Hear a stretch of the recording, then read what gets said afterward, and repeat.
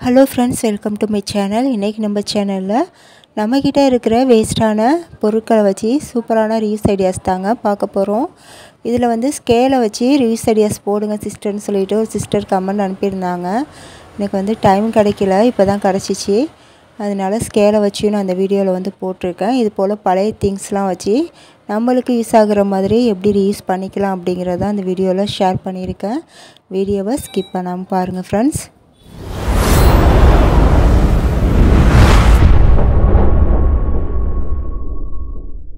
First நம்ம பார்க்க போகிறது பழைய ஸ்கேலை வச்சு தாங்க இந்த ஸ்கேல் வந்து ரொம்ப வந்து ஸ்க்ராச்சஸ் வந்து ஆகிருக்கு அதனால் இதை வச்சு நான் ரீயூஸ் பண்ணி காட்ட போகிறேன் இது போல் உங்கள்கிட்ட லேசான வெடிப்பு விட்ட ஸ்கேல் அந்த மாதிரி இருந்தால் கூட நீங்கள் இந்த ஐடியாவுக்கு வந்து யூஸ் பண்ணிக்கலாம். ஃபஸ்ட்டு இந்த ஸ்கேலில் வந்து நம்மளுக்கு விருப்பமான கலரில் வந்து நம்ம பெயிண்ட் பண்ணிக்கலாங்க. நான் வந்து ரெட் கலரில் அக்ரிலிக் பெயிண்ட் வந்து கொடுத்துக்கிறேன். கொடுத்துட்டு இது நல்லா வந்து காய விட்டுருங்க. காய விட்டதுக்கப்புறம் இதில் வந்து பட்ஸை வச்சு ஒயிட் கலரில் இது போல் டாட் டாட்டாக வந்து வச்சு விட்டுக்கோங்க. இப்போ இதுவுமே வந்து நல்லா காயிட்டோங்க. இப்போ அடுத்ததாக இது போல் பிஸ்தா செல் வந்து இருந்தால் எடுத்துக்கோங்க. இது வந்து ஆப்ஷனல் தான். வந்து டெக்கரேஷனுக்காக தான் இது வந்து எடுத்திருக்கேன். உங்கள்கிட்ட இல்லைன்னா நீங்கள் ஸ்கிப் பண்ணிக்கலாம். இப்போ இந்த பிஸ்தா செல்லில் எல்லோ கலர் பெயிண்ட் வந்து நான் கொடுத்துக்குறேங்க. இப்போ பார்த்தீங்கன்னா இந்த ஸ்கேல் வந்து நல்லா காஞ்சிருச்சு. காஞ்ச பிறகு இப்படி தான் இருக்கும்.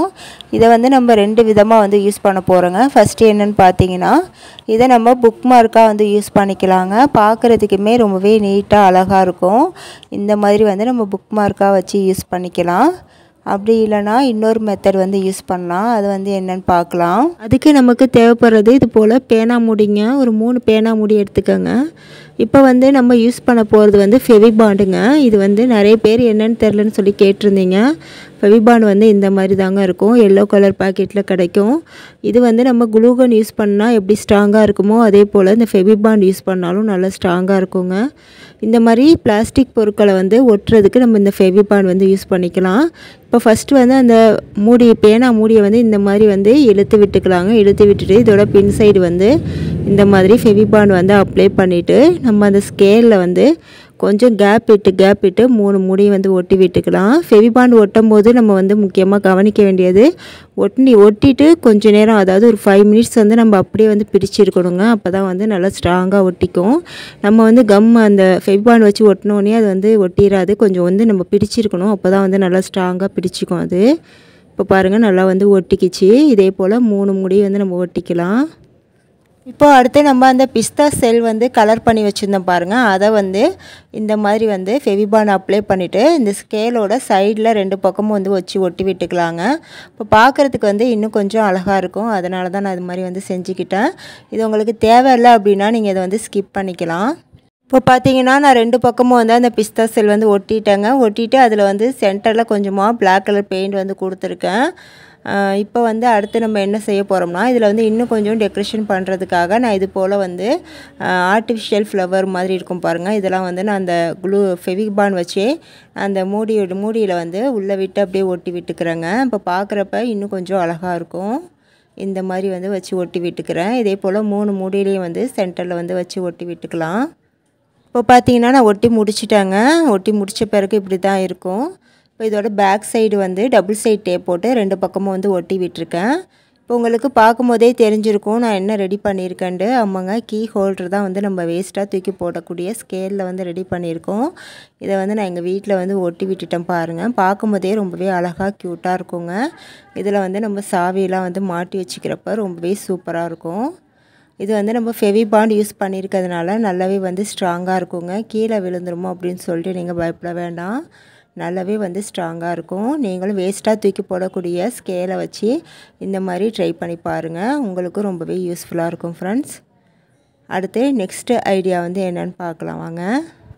அடுத்த ஐடியாவுக்கு நம்ம யூஸ் பண்ண போகிறது வேஸ்ட்டான பென்சில் பாக்ஸ் தாங்க.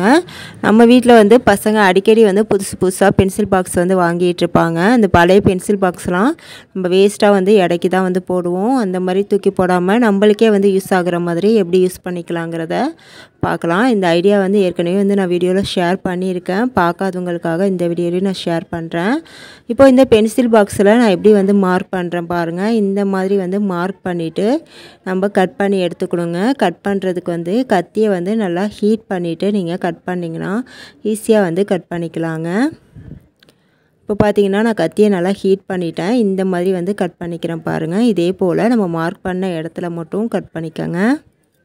இப்போ பார்த்தீங்கன்னா கட் பண்ணிட்டேன் பாருங்கள் இந்த மாதிரி தாங்க வந்து கட் பண்ணிக்கணும். இப்போ இதுக்கு மேலே வந்து நீங்கள் வந்து இப்படியே வந்து யூஸ் பண்ணுறதுனால யூஸ் பண்ணிக்கலாம். நான் வந்து கொஞ்சம் டெக்கரேஷனுக்காக இது போல் வால் ஸ்டிக்கர் இருக்குது பாருங்கள் அது வந்து நான் அந்த பென்சில் பாக்ஸ் வந்து தெரியாமல் மேலே வந்து ஒட்டி விட்டுக்கிறேன்.